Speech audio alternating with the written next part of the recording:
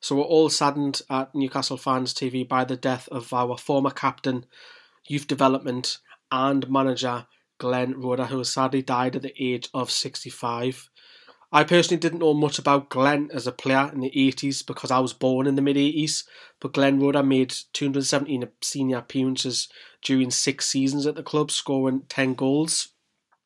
He actually had a shuffle, the Roeder shuffle, named after him for his step over. He was a very cultured defender. Of course, he was captain during his six seasons at Newcastle, and then, of course, came back to the club in 2005 as youth development manager, and then of course he got the caretaker role and then the permanent role.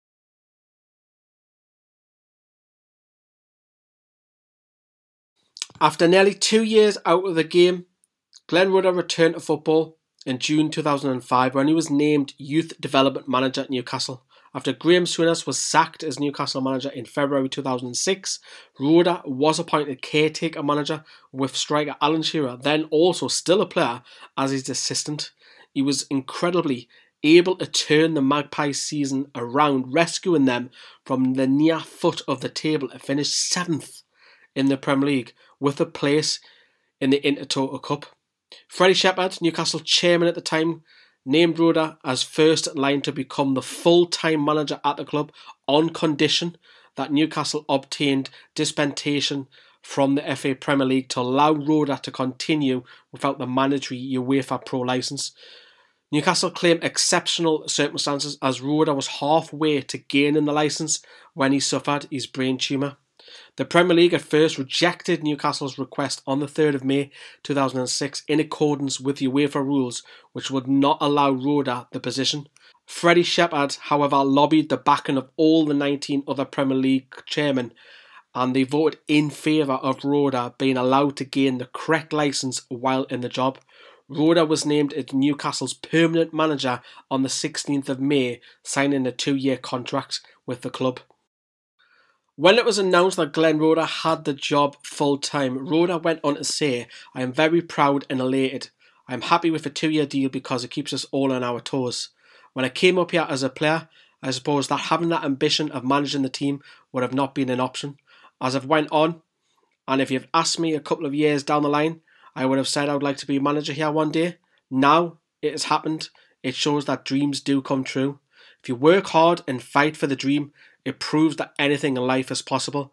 And when the opportunity comes along, you have to be ready for it. I'm looking forward to the next few seasons now, and I think it's going to be an exciting time for everybody connected at this football club. Under Roeder in that summer, Newcastle won the 2006 Intertoto Cup by virtue of being the furthest placed team to advance from the Intertoto Cup into the UEFA Cup. After the 1 0 defeat to Sheffield United at home on the 4th of November 2006, there was actually a fan protest outside of St James's Park that was actually shown live on Sky.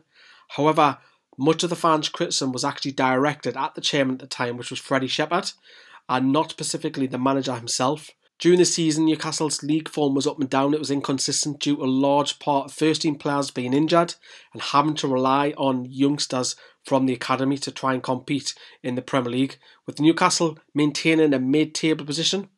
After guiding Newcastle to just one win in 10 games, Roeder was summoned to an emergency board meeting on the 6th of May 2007. It was revealed that he had resigned from that with immediate effect. Credit to Glenn Roeder because he won 45% of his matches.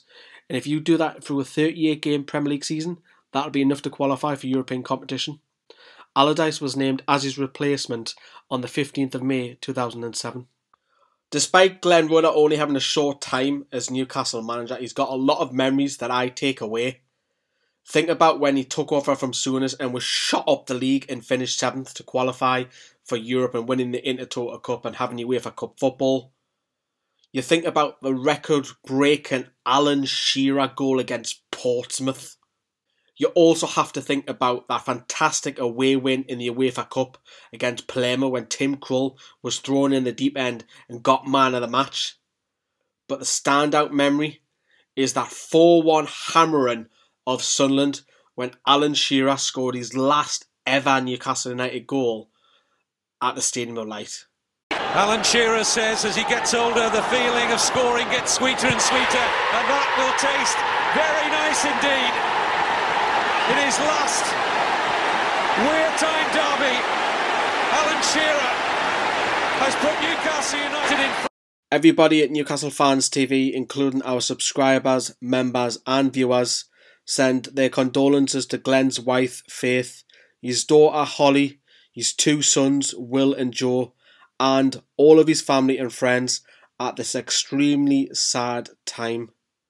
Rest in peace, Glenn Roeder.